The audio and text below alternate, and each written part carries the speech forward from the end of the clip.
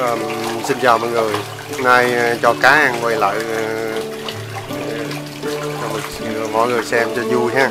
Còn ờ, Coi cá ăn cũng thư giãn lắm à. Ai mà chơi aquaponics này thì vừa có rau mà vừa có cá coi giải trí.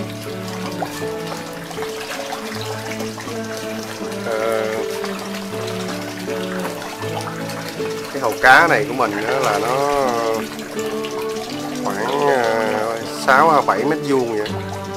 Chiều dài nó là 5 mét tư chiều ngang nó là khoảng mét mét ba. Ờ,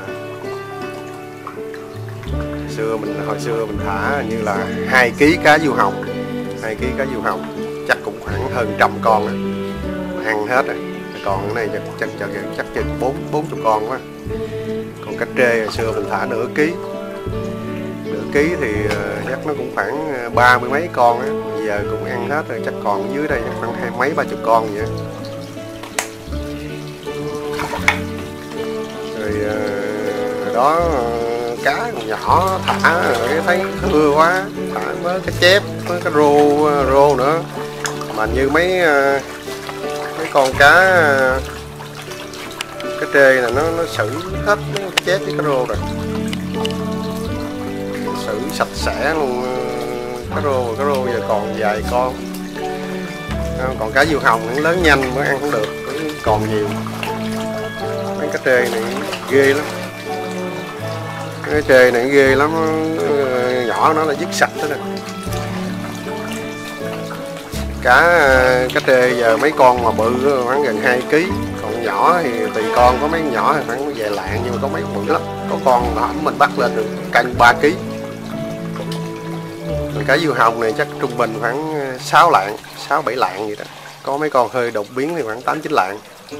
Mình trung bình khoảng 6 7 lạng.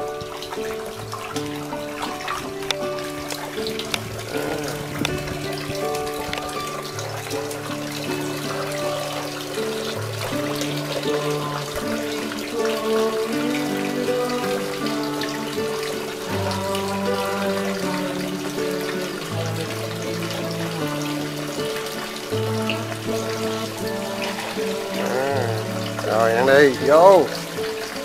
Này ăn ờ, thức ăn công nghiệp thôi. Mua ờ, mua mấy chỗ bán ờ, thức ăn giống á. À, thức ăn cho cá giống á.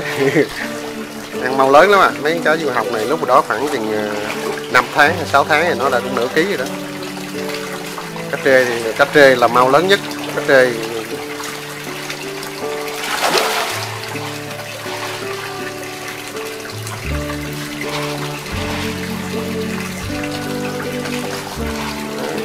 chơi cái này vừa có niềm vui có cá.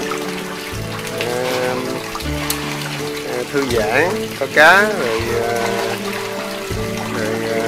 có rau ăn